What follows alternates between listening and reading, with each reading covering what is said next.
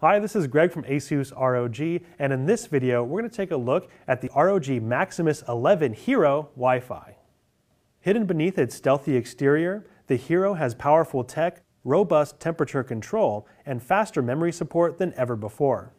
The motherboard is equipped with an LGA 1151 CPU socket for 9th generation Intel Core processors, as well as being compatible with 8th generation Core i7, i5, and i3 CPUs. This board also supports the latest version of ASUS 5-way optimization.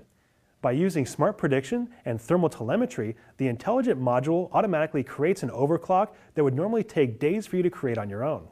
The combination of two-stage heat pipes and large finned heat sinks on the VRM, as well as five fan headers and water pump header, allow for more efficient heat dissipation and temperature monitoring. Also on the board, you will find four DIMM slots that can take up to 64 gigabytes of DDR4 RAM with OptiMem2 support for stronger memory signaling and stability.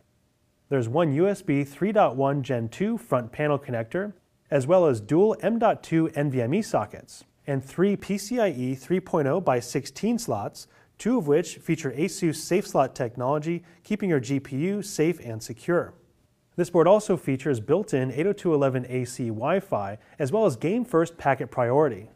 The built-in audio solution is the ROG Supreme FX S1220 8-channel high-definition audio codec, capable of crisp and clear audio. And with support for Sonic Radar and Sonic Studio 3, you'll have every edge you need to hear your enemies first. On the rear I.O. panel, you'll find two USB 2.0 ports, a PS2 mouse and keyboard combo port, an HDMI 1.4b connection, a DisplayPort 1.2, gigabit LAN, three USB 3.1 Gen 2 ports, one USB 3.1 Gen 2 Type-C connection, dual Wi-Fi antenna connections, five audio jacks with 8-channel HD audio, and one optical SPDIF out. You'll find that the rear I.O. panel comes pre-mounted, making for an easy installation. The pitch black color and textured ROG metal plating makes for a bold appearance, but with two RGB lighting zones, addressable and standard RGB headers, you can add whatever color you like. Also with Aura Sync, you can even match your motherboard's color and lighting pattern to your other ROG components.